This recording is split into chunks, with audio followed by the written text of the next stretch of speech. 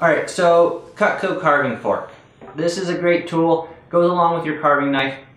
This allows you to hold the meat sturdy as you're cutting through it so you can kind of go along with it getting the slices. You can also use this with your turning fork to kind of pick stuff out of bigger pans.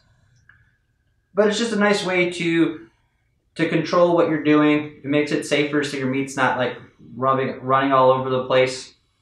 And uh, it's very easy to kind of move stuff off onto like a serving platter afterwards.